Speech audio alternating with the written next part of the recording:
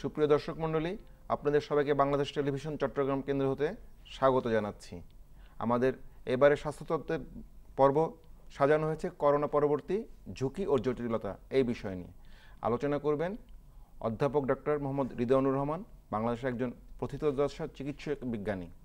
Sir এখন head of research হিসেবে কাজ করছেন ইউনিভার্সাল মেডিকেল কলেজ রিসার্চ সেন্টারে স্যার আপনাকে স্বাগত জানাচ্ছি। ধন্যবাদ আপনাকে। স্যার এই বৈশ্বিক মহামারী করোনায় তো আমরাও একই রকম আক্রান্ত, অন্য দেশের মতো। এবং করোনাতে আমরা দেখি যে অনেকে সুস্থ হয়ে যাচ্ছে, আবার অনেকের কিছু করোনার জটিলতা তৈরি হয়ে যাচ্ছে। স্যার, এই যে যাদেরকে আমরা সুস্থ হতে দেখছি, এই সুস্থতা কি স্যার প্রকৃত অর্থেই সুস্থতা? নাকি স্যার এখানে তার পিছনে অন্য কোনো গল্প আছে স্যার? এটা আসলে সঠিক যে একটা সময়ে আমেরিকায় দেখা গেল যে ওদের ওখানে যাদেরকে সুস্থ বলা হয়েছে, পঁচাত্তর ভাগ। কিন্তু ওদের মধ্যে অফিসে কাজে যোগদান করেছে মাত্র পঁচিশ ভাগ। তাহলে প্রায় পঞ্চাশ ভাগ রুগী। ওরা কিন্তু সুস্থ ডিক্লেয়ার করার পরেও ওরা অফিসে কাজে যোগদান করতে পারছে না। এবং এটা দেখা যাচ্ছে যে এটা মারাত্মক থেকে শুরু করে একদম মাইল্ড এবং অ্যাসিমটোমেটিক যারা, ওদের মধ্যেও এরকম একটা অসুবিধা হচ্ছে, যেটার কারণে ওরা পূর্ণ উদ্যমে কাজে ফিরে যেতে পারছে না। তো এটা সারা দুনিয়া জুড়ে এটা নিয়ে কনসার্ন শুরু হয়ে গেছে এবং মনে করা হচ্ছে যে কোভিড চলে গেলেও এর যে ইফেক্টটা থেকে যাচ্ছে এটা অনেক দিন ধরে মানুষের মধ্যে থেকে যেতে পারে। স্যার এই যে স্যার ঝুঁকি যেগুলো দেখা যাচ্ছে কি কি ধরনের স্যার ঝুঁকি দেখা যায়? সবচেয়ে বেশি যেটা হয় অনেকগুলো রকমের সমস্যা আছে। সবচেয়ে বেশি হয় এটাকে ইংরেজিতে একটা নাম আছে বলছে ডিকন্ডিশনিং সিনড্রোম তার মানে হচ্ছে ওর স্ট্রেংথটা লুজ করতেছে। ওর মাংসপেশির যে শক্তি ওটা লুজ করতেছে। তাহলে ওর সব যন্ত্রপাতি অর্গান ঠিক আছে কিন্তু সে কাজ করতে পারতেছে না। কাজ আগে যেখানে আট ঘণ্টা কাজ করতে পারতো, সেখানে এখন এক ঘণ্টা, দুই ঘণ্টা, তিন ঘণ্টা করলেই সে আর কাজ করতে পারছে না। চলাফেরায় অসুবিধা হচ্ছে। এছাড়া অন্যান্য আরও অনেকগুলো অসুবিধা হয়, যেমন যেটা করোনা ভালো হয়ে যাওয়ার পরে আবার একটা করোনার মতো লক্ষণ দেখা যাচ্ছে, সেটাও একটা পোস্ট কোভিড সিনড্রোম এছাড়া ওদের মধ্যে মাংসপেশির অসুবিধা থেকে যাচ্ছে। ওদের মধ্যে ডায়াবেটিস নতুন করে দেখা যাচ্ছে। ওদের মধ্যে অনেকগুলো রোগী যারা আইসিইউতে ভর্তি হয়েছে তাদের মধ্যে শতকরা এক ভাগ রোগীকে আইসিইউতে রেখে দিতে হচ্ছে। ওরা আর আইসিইউ থেকে বের করা যাচ্ছে না। এই এক ভাগের বাইরে আরও দুই ভাগ রুগী আছে যাদেরকে কন্টিনিউড কেয়ার দরকার হচ্ছে। তাহলে একদম সম্পূর্ণ সুস্থ, যদিও ওদের শরীরে ভাইরাস নেই এবং ওরা আসলে কোভিড থেকে ভালো হয়ে গেছে, কিন্তু ওরা পূর্ণ উদ্যমে ভালো হচ্ছে না। অনেকগুলো রুগী থেকে যাচ্ছে যাদের লং টার্ম রিহেবিলিটেশনের দরকার আছে। এবং এটার সংখ্যা কিন্তু কম নয়। এটা অনেক বেশি বলতেছে যে অ্যারাউন্ড থার্টি পার্সেন্ট হতে পারে। যাদের মধ্যে একটা না একটা মানে অসুবিধা যারা থেকে যাচ্ছে। সুস্থ হয়ে গেছিল করোনা সুস্থ হয়ে গেছিল কিন্তু তারপরেও ওদের মধ্যে কিছু না কিছু অসুবিধা থেকে যাচ্ছে এই জন্য এটা তিনজনে একজন। এবং এটা অনেক রুগীরা এটা বর্ণনা করতে পারে না যে ওর কেমন লাগতেছে। তাহলে বেশি ঘাম দেওয়া হচ্ছে খেতে পারতেছে না হাঁটাচলা করতে পারতেছে না এবং ও নিজেকে সেলফ কেয়ার যেটা ওটা পুরাটা সে করতে ওর একটা সাহায্য লাগতেছে। তাহলে এই অসুবিধাগুলা এই জন্য বলতেছে যে কোভিড চলে যাওয়ার পরে একটা এপিডেমিক অফ ডিকন্ডিশনিং সিনড্রোম পৃথিবী প্রত্যক্ষ করতে যাচ্ছে। এরপরে কিছু মানসিক অসুবিধাও হচ্ছে ওদের। মানসিক অসুবিধা করোনাকালীন এবং করোনা পরবর্তী। তাহলে এমনি যেসব রুগীদের আইসিইউতে যারা থাকে, ওদের কিন্তু একটা মানসিক অসুবিধা হয়ে যায় আইসিইউ থেকে বের হওয়ার পরে। কিন্তু দেখা যাচ্ছে কোভিডে এই মানসিক অসুবিধা হওয়ার সম্ভাবনাটা প্রায় তিন গুণ। এমনি স্বাভাবিক সময়ে যেটা হয়, তার চেয়ে অনেক বেশি হচ্ছে।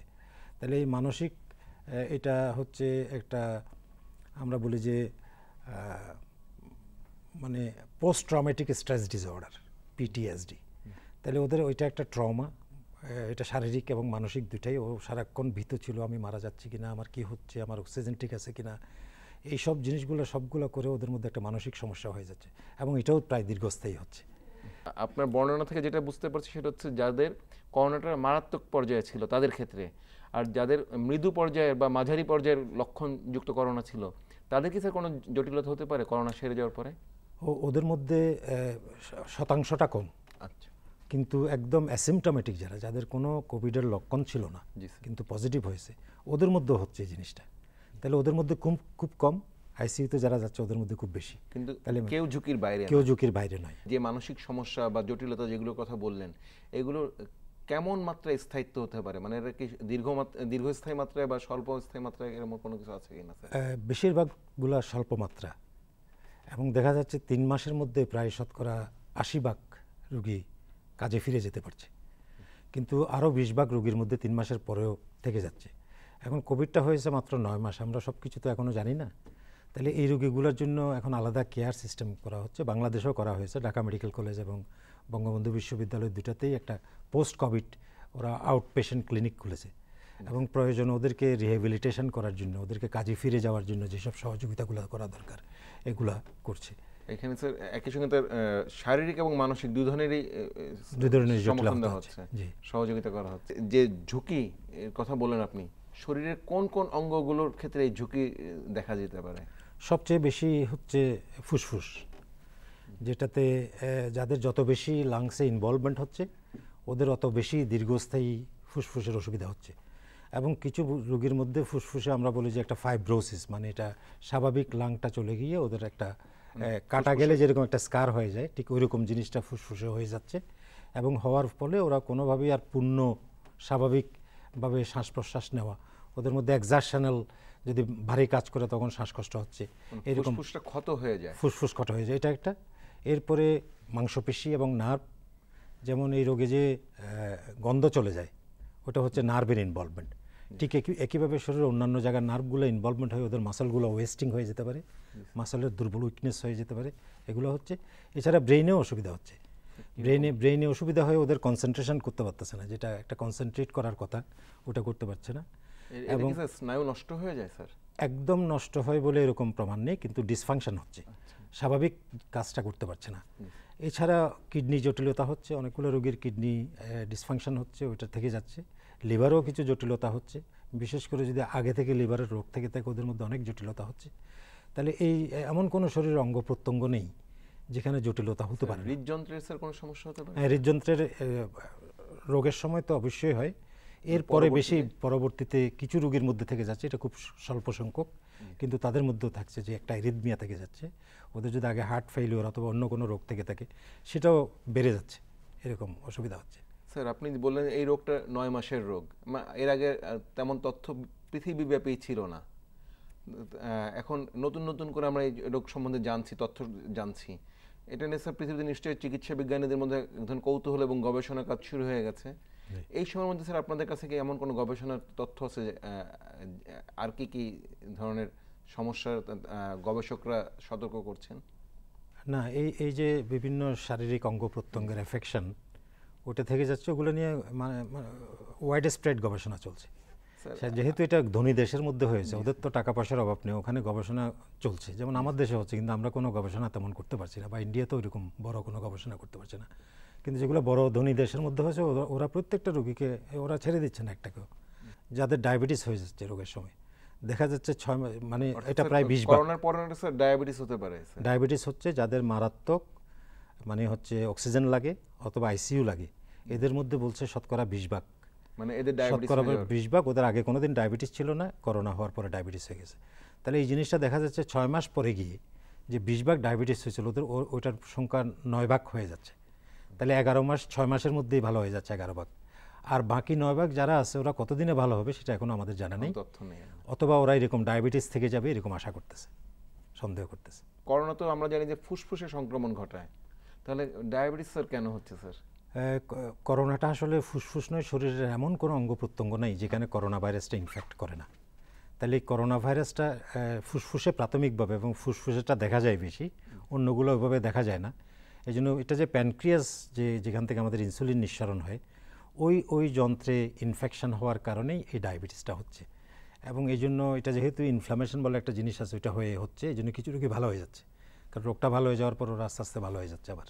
কিছু রোগী আমরা দেখেছি বিভিন্ন হাসপাতালে, যেমন কারও কারও যেদিন করোনা ধরা পড়ল, সেদিন থেকে তাকে চার মাসের অধিককাল পর্যন্ত হাসপাতালে থাকতে হয়েছে। কিন্তু দুই সপ্তাহ পরে সে হয়তো বা করোনা নেগেটিভ হয়ে গেছে, স্যার। তার এত লম্বা সময় হাসপাতালে কেন তাহলে তাকে থাকতে হলো? এটা কয়েকটা কারণ থাকতে পারে। এটা প্রধানত হচ্ছে ফুসফুসের জটিলতা রয়ে যাওয়া। ফুসফুসের মধ্যে যে ইনফেকশনটা হচ্ছে, এটা আমরা বলি যে পার্সেন্টেজ ওয়াইজ একটা দেখা হয়। তাহলে এমনি ফুসফুসে সিটি স্ক্যানে বা এক্স রেতে দেখা গেলেই এটা মারাত্মক নয়। কারণ ফুসফুসের এই ফাইন্ডিংগুলা একেবারে অ্যাসিমটোমেটিক যারা আছে, যার কোনো সিমটম নেই, ওদের মধ্যে শতকরা পঁচিশ জনের সিটি স্ক্যান করলে ফুসফুসে পাওয়া যাচ্ছে। এবং যাদের মাইল্ড জটিলতা হচ্ছে, মাইল্ড রোগ, এই হালকা দুই একদিনের জ্বর, টর এরকম, ওদের মধ্যে প্রায় শতকরা পঁচানব্বই জনের মধ্যে চেস্টে অসুবিধা থাকছে। তাহলে এটা যখন মারাত্মক রোগী হয়ে যাচ্ছে, ওদের লাংসের বেশিরভাগ জায়গাগুলো এফেক্টেড হয়ে যাচ্ছে। এবং এরপরে এটার থেকে ভালো হয়ে যেতে সবাই তাড়াতাড়ি ভালো হচ্ছে না। কিছু রোগীর অনেক দিন লেগে যাচ্ছে এবং অনেক দিন লেগে যাওয়ার পরে একদম ভালো না হয়ে আমি যে বললাম যে এক পার্সেন্ট রোগীকে হাসপাতালে রেখে দিতে হচ্ছে আর দুই পার্সেন্ট রোগীকে কিছু না কিছু কেয়ার দেওয়া লাগতেছে যারা আইসিইউ থেকে ডিসচার্জ হয়েছে তাহলে এরকম অনেকগুলো রোগী থাকবে যাদের দীর্ঘস্থায়ী কেয়ার লাগবে, ভালো হওয়ার জন্য এবং কিছু রোগীর তো লাইফ লং কেয়ার লাগবে যে ওরা আর ভালো, পুরো ভালো হবে না এরকম। স্যার আপনার কাছ থেকে একটা তথ্য পেলাম যেটা ডায়াবেটিস কারও কারও দেখা গেছে যে একটা সময় পরে যে ডায়াবেটিসটা করোনার কারণে হয়েছিল সেটা থেকে পুরোপুরি সুস্থ হয়ে গেছে। যদিও ডায়াবেটিস একটা জীবনভর রোগ কিন্তু এই রোগীদের ক্ষেত্রে সুসংবাদ হচ্ছে যে এদের কেউ কেউ আবার সম্পূর্ণ আরও রোগ লাভ করে গেছে। তাহলে স্যার একই রকম ভাবে যে আপনি যে মাংস মাংসপেশির দৌর্বল্যের কথা যেটা বললেন মাংসগুলো মাংসগুলো নষ্ট হয়ে যাচ্ছে পেশিগুলো এটা কি স্যার পারমানেন্টলি দীর্ঘ চিরস্থায়ী নাকি স্যার এটাও আবার ভালো হয়ে যাওয়ার সুযোগ আছে এটা ভালো হয়ে যাওয়ার সুযোগ আছে, অনেকগুলো রোগী ভালো হয়ে যাচ্ছে আমরা দেখছি, কিন্তু এটা পারমানেন্ট হবে কি না সেটা এখনও বলার সময় আসেনি। এটা আরও সময় গেলে আমরা এটা বলতে পারব। কিন্তু এখন দেখা যাচ্ছে যে ওদেরকে যদি ফিজিক্যাল এক্সারসাইজে যেগুলো এক্সারসাইজ রেজিমেন আছে, ওগুলো যদি সঠিকভাবে প্রয়োগ করা হয়, তাহলে ওদের মধ্যে এই জটিলতাগুলো ভালো হচ্ছে। ফুসফুসেরটাও, ওদেরকে যদি রেসপিরেটরি এক্সারসাইজ আছে ব্রিদিং এক্সারসাইজ আমরা বলি, ওই ব্রিদিং এক্সারসাইজগুলো যদি করা হয়, তাহলে ওরা তাড়াতাড়ি ভালো হচ্ছে। এবং ওরা সম্পূর্ণ ভালো হওয়ার সম্ভাবনাটা বেড়ে যাচ্ছে। এই জন্য চিকিৎসা কোভিড শেষ হয়ে গেলেও কিছু রুগীর আরও কন্টিনিউড কেয়ার লাগবে। মেইনলি হচ্ছে রিহ্যাবিলিটেশন ওদের ব্যাক টু ওয়ার্ক করার জন্য যেটা দরকার ওটার জন্য। স্যার আরেকটা বিষয় যে আপনি যে এই যে ঝুঁকির কথা যেগুলো বললেন বা যে যে জটিলতাগুলো বললেন স্নায়বিক থেকে শুরু করে হরমোনাল অনেক ধরনের আপনি বলেন যে আসলে শরীরের প্রায় সব অঙ্গই আক্রান্ত হতে পারে বা ক্ষতিগ্রস্ত হতে পারে। এখন তো স্যার সবার এই ধরনের ক্ষতি হচ্ছে না। কেউ কেউ এই ধরনের বিপদের মুখে পড়ে যাচ্ছে। কেন স্যার এরকম, কেউ কেউ কেন এই বিপদের মুখে পড়ছে স্যার? এটাও সঠিক জানা নেই। কিন্তু ধারণা করা হয় যে যাদের শরীরে ভাইরাসটা অনেক বেশি হয়ে যাচ্ছে, তাদের মধ্যে জটিলতাগুলো বেশি হচ্ছে। তাহলে যারা সিভিয়ার ডিজিজ, আমরা বলছি যে অক্সিজেন ছাড়া সে আর, ওর অক্সিজেন মেনটেন করা যাচ্ছে না ওদের জন্য, এবং যারা আইসিইউতে ভেন্টিলেটর লাগছে ওদের মধ্যে, তাহলে ওদের মধ্যে অনেক বেশি ভাইরাস শরীরের মধ্যে হয়ে যাচ্ছে। তাহলে এটার কারণ হচ্ছে এটার সরাসরি কারণে আমাদের জানা নেই। কিছু লোকের মধ্যে বডির ইমিউনো ডেফিসিয়েন্সি মানে রোগ প্রতিরোধ ক্ষমতা। যাদের কম ওদের মধ্যে বেশি হচ্ছে। এবং যাদের ডায়াবেটিস হার্ট ডিজিজ তারপর ওজন বেশি ওবেজ এইসব জিনিসগুলো যাদের আছে ওদের মধ্যে এটা বেশি হচ্ছে। তো এই জন্য এটা সরাসরি আমরা বলতে পারছি না যে কেন এটা হচ্ছে। তবে ওদের যে ভাইরাস অনেক বেশি হয়ে যাচ্ছে এবং ভাইরাস বেশি হওয়ার একটা কারণ হচ্ছে যখন আমি ভাইরাসটা আমার শরীরে ঢুকছে তখন বেশি পরিমাণ ভাইরাস ঢুকছে। যেমন হচ্ছে ডাক্তারদের মধ্যে। ডাক্তাররা যেহেতু ডাক্তার এবং হেলথ কেয়ার ওয়ার্কার যারা রোগীর চিকিৎসা দিচ্ছে ওরা যখন ইনফেক্টেড হচ্ছে ওদের বেশি পরিমাণে ভাইরাস ঢুকে যাচ্ছে এবং ওদের মধ্যে মারাত্মক লক্ষণগুলো বেশি হচ্ছে মারাও বেশি যাচ্ছে। এই জন্য বাংলাদেশে কিন্তু আমরা অলরেডি একশোর বেশি ডাক্তার মারা গেছে। এবং এটার স্বাধীনতা যুদ্ধে এত ডাক্তার হারাইনি। এত ডাক্তার হারাইনি আমরা। এটা এটার কারণ হচ্ছে ওই যে ভাইরাসটা বেশি হয়ে যাচ্ছে এবং ওদের কোমরবিডিটি আমরা বলি অন্যান্য রোগগুলো যখন থাকছে শ্বাসযন্ত্রের রোগ ওদের মধ্যে বেশি হয়ে যাচ্ছে। স্যার, ডাক্তারদের ঝুঁকির কথা যখন স্যার বললেন আমার এই প্রসঙ্গে মনে পড়ে গেল, এক চিকিৎসক কোভিড আক্রান্ত হয়েছিল প্রায় তিন মাস আগে। তার সপ্তাহ দুয়েক পরে উনি কোভিড নেগেটিভ হয়ে গেছিলেন। কিন্তু দেখা গেল যে তিনি আর সুস্থতা পাননি ফিরে। তার কোভিডের জ্বর চলে যাওয়ার অল্প কয়েকদিন পর তার শরীরে জ্বর দেখা দেয় এবং সেই জ্বর তার আর, আরোগ্য লাভ উনি করেনই এবং শেষ পর্যন্ত তিনি মারাই গিয়েছেন। এটা স্যার এটা হচ্ছে কি এটাও এখনও ফুললি এক্সপ্লেইন না তবে ধারণা করা হয় যে এক হাজারে একজন যাদের ইনফেকশন হচ্ছে ওদের ভাইরাসটা দীর্ঘদিন থেকে যাচ্ছে। যেমন একবার হয়ে যেগুলো আমরা শুনতেছি দুইবার তিনবার হচ্ছে এগুলো কিন্তু দুইবার তিনবার ইনফেকশন হচ্ছে না। একই ইনফেকশনটাই আবার ওই ভাইরাসটা শরীরের মধ্যে থেকে শরীরের মধ্যে থেকে যাচ্ছে। তাকে পুরোপুরি নির্মূল করা যায়নি। তারা পুরোপুরি করার মতো বডি কোনো কোনো না কোনো কারণে এটা পুরো এলিমিনেট করছে না। কিন্তু শতকরা নিরানব্বই জন রোগীর মধ্যে তিন সপ্তাহের মধ্যে সে চলে যাবে ভালো ভালো- ভালো হয়ে যাবেই। ভাইরাসটা শরীরে থাকা সম্ভব নয়। এই জন্য ওরা নন ইনফেকশাস হয়েছে ওরা ছড়াবে না কিন্তু ও তো সুস্থ হচ্ছে না। এরকম অসুস্থ থেকে যাচ্ছে এই জিনিসটা হয়ে যাচ্ছে। স্যার এখন এই যে যে ঝুঁকি এবং জটিলতার কথা যেগুলো আপনি বললেন সম্ভাব্য যেগুলো হতে পারে বা যেগুলো হয়ে গেছে আপনাদের পর্যবেক্ষণে যেগুলো এসেছে এই ঝুঁকির ব্যবস্থাপনাটা করার ক্ষেত্রে যেমন আপনার মাধ্যমে হয়তো বা শুধু আমাদের সাধারণ দর্শকরা না আমাদের প্রান্তিক পর্যায়ে কাজ করেন চিকিৎসকরাও এই অনুষ্ঠানটা হয়তো বা দেখছেন তারা স্যার একটা নির্দেশনা পাবে স্যার। যদি কোনো ফুসফুসের বড় জটিলতা না থাকে বা অন্যান্য শরীরের যন্ত্রপাতি না থাকে শুধুমাত্র ডিকন্ডিশনিং সিনো মানে যে ফ্যাটিক মানে কাজ করার স্পৃহাটা পাচ্ছে না করতে পারছে না ওদেরকে আমরা করি কি কোভিড ভালো হয়ে যাওয়ার পর ওদেরকে আবার পরীক্ষা করে দেখি যে ওর মধ্যে কোনো অসুবিধা রয়ে গেছে কিনা। যদি কোনো অসুবিধা না হয়, ওদেরকে আমরা আস্তে আস্তে ইনক্রি প্রোগ্রেসিভলি ইনক্রিজিং অ্যাক্টিভিটি এটা অ্যাডভাইস করি। এবং এর সাথে মানসিক সাপোর্ট এটা অত্যন্ত গুরুত্বপূর্ণ যে, না, আপনার কোনো অসুবিধা হবে না। এটা আসলেই অসুবিধা হবে না কিন্তু। এবং ওরা নিজেদেরকে বলে যে, আপনি আজকে হাঁটেন, পাঁচ মিনিট হাঁটছেন, দুই, তিন দিন পাঁচ মিনিট হাঁটেন, তারপর দুই, তিন দিন দশ মিনিট হাঁটেন, তারপর দুই, তিন দিন পনেরো মিনিট হাঁটেন। এভাবে করে প্রোগ্রেসিভলি ইনক্রিজিং এক্সারসাইজ ওদের এক্সারসাইজ টলারেন্সটা আস্তে আস্তে বাড়ে। এটাই মেইন চিকিৎসা। এছাড়া যদি আরও কতগুলো মানে ইনস্ট্রুমেন্ট নিয়ে যেসব এক্সারসাইজ আছে ওগুলো আস্তে আস্তে হালকাভাবে করে এটা ভালো হতে হবে। তবে এখানে সবচেয়ে বেশি দরকার এগুলো খুব তাড়াতাড়ি ভালো হবে না যেটা এক্সারসাইজ ওদের মানসিক স্ট্রেংথটা রাখা দরকার। তাহলে আমাদের চিকিৎসার প্রধান অস্ত্র হবে যে ওকে আমি বুঝাবো বুঝাতে সমর্থ হব যে না তোমার অসুবিধা হবে না এটা তুমি ভালো হবাই। নিশ্চিত ভালো হবে। তাহলে এই মেন্টাল ইয়ের সাথে সাপোর্টের সাথে ওদেরকে যদি ফিজিক্যাল এক্সারসাইজ এবং অ্যাক্টিভিটিগুলো দিই, যাদের ফুসফুসের জটিলতা রয়ে গেছে, ওদের জন্য ব্রিদিং এক্সারসাইজগুলো আমরা দিই।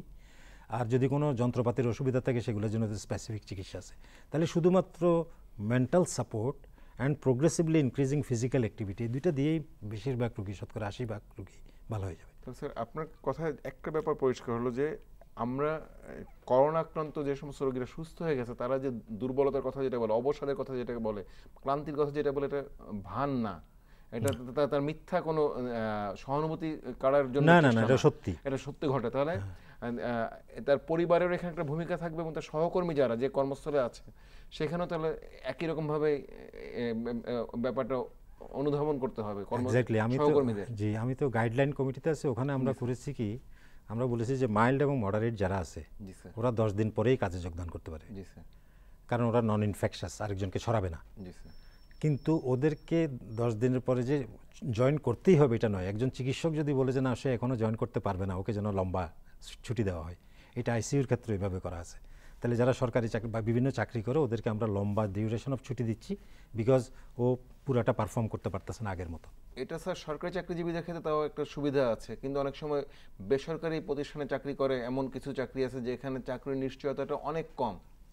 সেখানে যদি তাকে আমরা ছুটি দেওয়ার কথা বলি এই ব্যাপারটা কীভাবে নিশ্চিত করা যাচ্ছে যে তার চাকরি নিশ্চয়তা থেকে যাবে স্যার এটা একটা চিকিৎসকের সার্টিফিকেট হতে পারে প্লাস যারা এমপ্লয়ার আছে ওরা যদি এটা কনসিডার করে কনসিডার করা উচিত আমি মনে করি। যেহেতু রোগটা অন্যরকম এবং এটাতে মানুষ টেস্টে ভালো হলেই সে ভালো হয়ে যাচ্ছে না ওরা অনেক অসুবিধা থেকে যাচ্ছে। এই জিনিসগুলো আমাদেরকে কনসিডার করতে হবে এবং ওদেরকে একটা সময় দিতে হবে যেন ও আরও ভালো অবস্থায় আসা পর্যন্ত। যে রোগীটা যারা জটিল অবস্থায় ছিল শুরুতে, রোগের শুরুতে, তাদের ব্যাপারে তো আমরা আগে থেকে বুঝতে পারছি এবং তারা যে সংকটাপন্ন গ্রুপে সেটা আমরা বুঝতে পারব এবং তার জন্য তাদের ক্ষেত্রে আমরা যত্ন নিব। এবং সে কোভিড নেগেটিভ হওয়ার পরে যত্ন নিব। কিন্তু যারা মৃদু এবং মাঝারি গ্রুপে ছিল, সেই গ্রুপের রোগীদের ক্ষেত্রে আমাদের কোনো সতর্কতা শুরু থেকে নিতে হবে কিনা? কোভিড থেকে ভালো হয়ে যাওয়ার পর পরে মানে ভালো হওয়ার পরে যে অসুবিধাগুলো হচ্ছে এগুলো না হওয়ার জন্য। জি না হওয়ার জন্য। না এরকম না হওয়ার জন্য কোনো চিকিৎসা নেই কারণ আমরা তো বুঝতে পারতেছি না এটা কার হবে। আগের থেকে বোঝা সম্ভব নয়। তাহলে এটা যখন হবে তখনই ম্যানেজ করতে হবে। বিশেষ করে যে ডিকন্ডিশনিং সিনড্রোম বললাম ওটা থেকে একটা থেকে যায় যে রুগীর জ্বর জ্বর ভাব থেকে যায়। ওর জ্বর জ্বর ভাব থেকে মাপলে দেখা যায় যে ninety nine ninety nine point five ninety nine একশোর উপরে ওঠে না। এটাও কিন্তু এই অংশ। তাহলে এটাতেও কিছু করতে হবে না। এটাতে বেশি ইনভেস্টিগেশন করে রুগীর খরচ করানো ঠিক না বা এটা আমরা ধরে নেব যে এটা পোস্ট কোভিড সিনড্রোম এটাকে এইভাবে করে আমাদেরকে চিকিৎসা করতে হবে শুধু কথা বলে চিকিৎসা করতে হবে। কথা বলে ওকে রিএসিউরেন্স অ্যাসিউরেন্স এবং রিএসিউরেন্স দিয়ে এটা চিকিৎসা করতে হবে। ওষুধ বিষয় স্যার আপনি যেটা বললেন যে যাদের আবারও কোভিড দেখা দিয়েছে তার মানে এই নয় যে সবাই নতুন করে আক্রান্ত হয়েছে। কেউ কেউ হয়তো বা আগে থেকে যে ভাইরাস ঢুকে গেছিল সেই ভাইরাসটা তার শরীরে আবার নতুন করে বিস্তার লাভ করেছে। এখন স্যার এটা কি আবার নিরূপণ করার কোনো উপায় আছে যে তার শরীরে ভাইরাসটা রয়ে গেছে কিনা? নাই। ওটা থাকে খুব কম কনসেন্ট্রেশনে থাকে মানে খুব অল্প পরিমাণে ভাইরাস থাকে। যেটা। পিসিআর সাধারণত আমরা যে স্যাম্পল নেই ওটাতে ধরা পড়ে না। আচ্ছা। কিছু কিছু রোগীর মধ্যে থেকে যায় অনেকদিন পর্যন্ত পজিটিভ থেকে যায় এটা থাকতে পারে। কিন্তু বেশিরভাগ রোগীর মধ্যে এটা ধরা পড়বে না। দেখা যাবে যে সে ভালো হয়ে গেছে আমরা সার্টিফিকেট দিয়ে দিচ্ছি ওকে তুমি ভালো। তারপরে গিয়ে আবার দেখা যাচ্ছে। আর তাহলে স্যার আমরা ওই রোগী সুস্থ হয়ে যাওয়ার পরেও তার পরিবারকে এটুকুন আমাদের বলতে হবে যে আপনি আপনার রোগীর ক্ষেত্রে এই বিষয়গুলোর খেয়াল রাখবেন যে এরকম কোনো লক্ষণ দেখা যায় কিনা। তখন যাতে না ভয়ে ভয়ে থাকতে হবে না কিন্তু। কারণ আচ্ছা। করোনা একবার ভালো হয়ে গেছে মানে সে ভালো হয়ে গেছে তারা আর হবে না আমরা ধরে নিই। যদি আনলেস ওর নতুন একটা স্ট্রেন আসে। তাহলে যাদের একই রোগীটা ভালো হয়ে যাওয়ার পরে আবার যেটা হচ্ছে এটা কিন্তু রিইনফেকশন নয় বা এটা মানে রিপিটেড কোভিড নয়। রিপিটেড কোভিড হচ্ছে খুব কম সংখ্যক সারা দুনিয়ায় মাত্র বারো জন এ পর্যন্ত পাওয়া গেছে।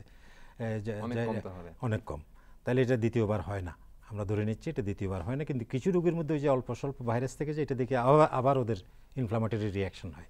রিয়াকশন হয় আবার কোভিডের মতো লক্ষণ হয় যেটা আপনি বললেন যে জ্বর যাচ্ছে না জ্বর কিছু খুঁজে পাচ্ছি না। ওইটা ওইটা কোভিড এটা পোস্ট কোভিড সিনড্রোম তাহলে স্যার এই যে আপনি অনেকগুলো পুনর্বাসন প্রক্রিয়ার কথা বলেছেন এই পুনর্বাসন প্রক্রিয়াগুলো কীভাবে স্যার শুরু করতে হবে স্যার? এটা একটা সার্ভিস এটা গভর্নমেন্টকে করতে হবে।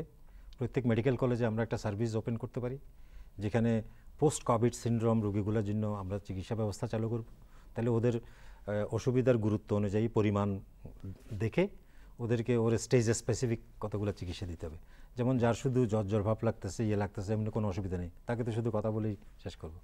যে বলতেছেন আমি তো কাজ করতে পারতেছি না, ওকে আমরা ফিজিক্যাল এক্সারসাইজ দেবো। যে বলছে আমি হাঁটতে গেলে উপরে উঠতে গেলে আমার শ্বাসকষ্ট হচ্ছে, ওকে ওইভাবে করে আমরা চিকিৎসা দেবো। চিকিৎসা মানে ওষুধ নয়, এখানে কিন্তু ওষুধ নেই, কিন্তু এটা ভাইরাস রোগ, এটাতে কোনো ওষুধ লাগে না। এটা চিকিৎসাগুলো সবগুলো ফিজিক্যাল মানে নন ফার্মাকোলজিক্যাল আমরা বলি যে ওষুধ ছাড়া যেসব চিকিৎসা পদ্ধতি আছে ওগুলোই ব্যবহার করতে হবে। স্যার এখন তো পৃথিবীর অনেক দেশে আবার সেকেন্ড ওয়েভের কথা আমরা শুনছি। বাংলাদেশের ক্ষেত্রে স্যার এই সেকেন্ড ওয়েভের ব্যাপারটা কতটুকু সম্ভাবনা আছে বা বাংলাদেশের কি প্রথম ওয়েভটা শেষ হয়ে গেছে কিনা? সেকেন্ড ওয়েভ আসলে? সেকেন্ড ওয়েভ বলা হয় যখন প্রথম ওয়েভটা আইদার একদম শেষ হয়ে যাবে অথবা শেষের কাছাকাছি যাবে যাওয়ার পরে আবার বেড়ে যাবে। যেমন ওয়েস্টার্ন কান্ট্রিগুলোতে এখন যেটা চলছে। তো আমাদের দেশে ও ওইটা নয়। আমাদের দেশে হচ্ছে প্রথম ওয়েভই চলছে। এটা মাঝে মাঝে বাড়ছে কমছে বাড়ছে কমছে এরকম হচ্ছে। কিন্তু এক- একদম চলে গেছে এবং সেকেন্ড ওয়েভ এটা নয়। আমাদের প্রথম ওয়েভের মধ্যেই আমরা আছি। আমাদের কোনো সাপ্রেশন অ্যাক্টিভিটি যেটা করার কথা ছিল সেটা কোনোটাই নেই। না থাকার কারণে আমরা এই প্রথম ওয়েভের মধ্যেই অনির্দিষ্টকাল ধরে থেকে যাব। এবং এই প্রথম ওয়েভের মধ্যেই যদি আমাদের হার্ড ইমিউনিটি যেটা এটা হয় হতে পারে। এটা হতে হবে। অথবা ভ্যাকসিন আসতে হবে। এছাড়া আমাদের কোনো নিস্তার নেই। আমি ভ্যাকসিনে যাওয়ার আগে আপনার কাছে আরেকটা বিষয়, স্যার, জানতে চাচ্ছিলাম। এটা ঝুঁকির বাইরে একটা প্রশ্ন, স্যার। যেমন আমরা অনেক দেশে দেখেছি যে করোনার সংক্রমণ যেমন হয়েছে কিন্তু মৃত্যুর হারও তাদের অনেক বেশি ছিল। এখনও যেমন মার্কিন যুক্তরাষ্ট্রে বা আমরা ব্রাজিলের কথা বলতে পারি, এমনকি আমাদের পার্শ্ববর্তী রাষ্ট্রের কথা বলতে, প্রতিবেশী রাষ্ট্রের কথা বলতে পারি। কিন্তু সেই তুলনায় বাংলাদেশে, বাংলাদেশ একটা অতি ঘন বসতিপূর্ণ একটা রাষ্ট্র। কিন্তু সৌভাগ্যজনকভাবে আমাদের মৃত্যুর হারটা অত বেশি না।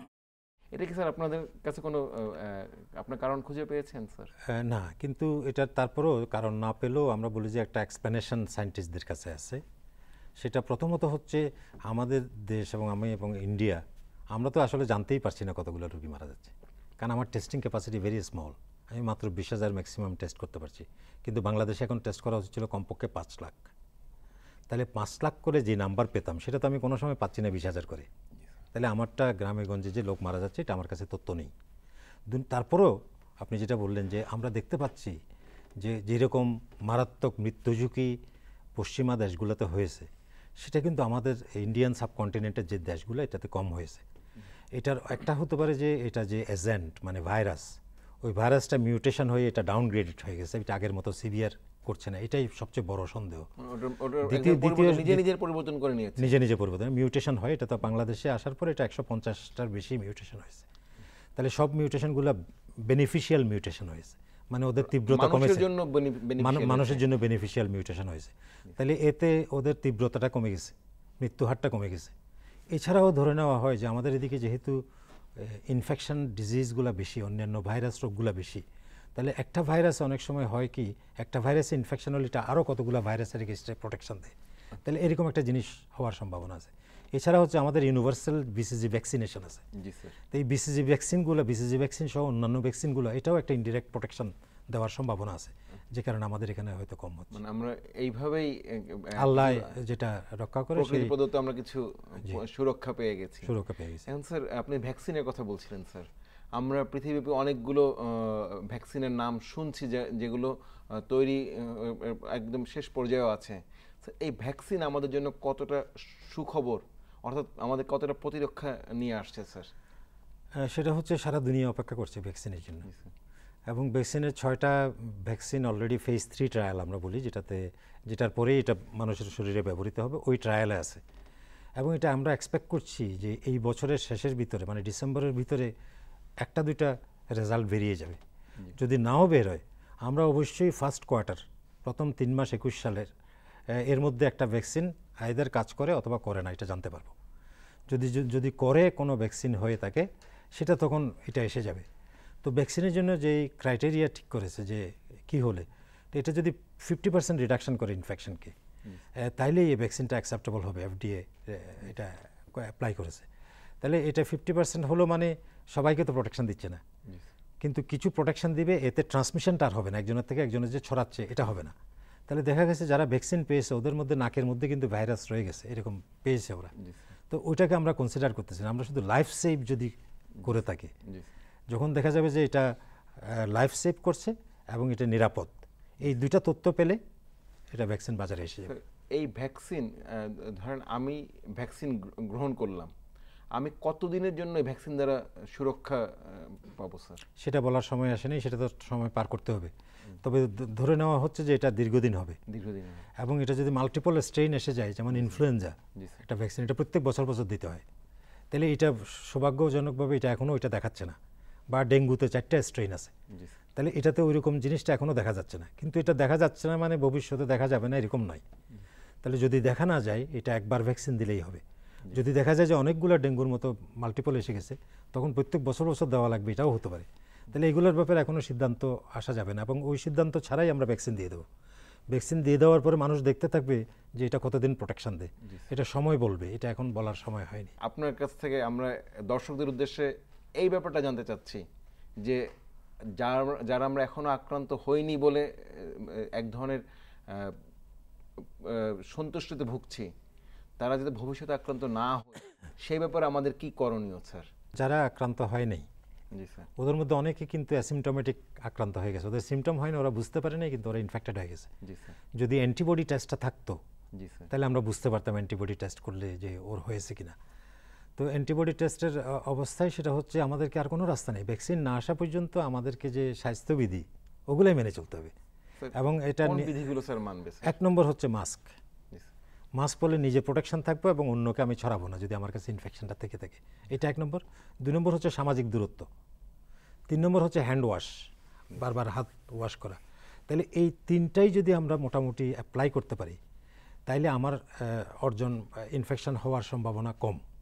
কিন্তু কম মানে এটা অদৃশ্যভাবে যেহেতু এটা ছড়ায়। এবং অদৃশ্য কোথায় যে কি হয়ে যাচ্ছে আমি জানি না। এই জন্য শতভাগ প্রোটেকশন এটা নাও দিতে পারে। তারপরও পার্সোনাল প্রোটেক্টিভ যেগুলো আমি বললাম এগুলো যদি আমরা যদি শতভাগ মেনে চলি প্রত্যেকটা জায়গায় যদি মেনে চলি তাহলে আমার হওয়ার সম্ভাবনাটা অনেক কম। কমে যাবে। ধন্যবাদ স্যার সুপ্রিয় দর্শক মণ্ডলী এতক্ষণ আমরা অধ্যাপক ডক্টর মোহাম্মদ রিদাউনুর রহমান স্যারের কাছ থেকে করোনা সংক্রমণ পরবর্তী ঝুঁকি এবং জটিলতা সম্বন্ধে বিস্তারিত জানলাম। তো আমরা এখানে বেশ কিছু গুরুত্বপূর্ণ তথ্য জেনেছি যে অনেকেই ঝুঁকির মুখে আছে কিন্তু অনেক ক্ষেত্রে ঝুঁকিগুলো খুব দ্রুত যদি ব্যবস্থাপনা করা যায় খুব দ্রুত এই ঝুঁকিগুলো আবার আহ, অপসৃয়মান হয়ে যায়। অর্থাৎ ঝুঁকিমুক্ত হয়ে যায়। যে- ডায়াবেটিস তৈরি হচ্ছে সেই ডায়াবেটিসও একসময় দেখা যায় সেরে গেছে। বা তার যে দুর্বলতা তার মাংসপেশি ক্ষতিগ্রস্ত হওয়া বা তার হৃদযন্ত্রে যে ক্ষতিগ্রস্ত হওয়া সেগুলো সবই যথোপযুক্ত ব্যবস্থাপনার মাধ্যমে দ্রুত সুস্থতা বা আরোগ্য লাভ করা সম্ভব। কিন্তু এটা করার আগে সর্ব, আমাকে সবার আগে যেটা সতর্ক থাকতে হবে সেটা হচ্ছে আমি যাতে আক্রান্ত না হই। এবং আক্রান্ত না হওয়ার জন্য আমাকে খুব সামান্য কিছু স্বাস্থ্যবিধি মানতে হবে, একটা মাস্ক পরতে হবে, হাত দুটোকে আমার সুরক্ষা দিতে হবে পরিষ্কার করার মাধ্যমে, সাবান ধোয়ার মাধ্যমে, এবং অহেতুক বা অপ্রয়োজনীয় সামাজিক মেলামেশা পরিহার করতে হবে। এইগুলো মেনে চললে আমাদের করোনা পরবর্তী ঝুঁকির প্রশ্নটাই সামনে আসবে না। আপনারা সবাই ভালো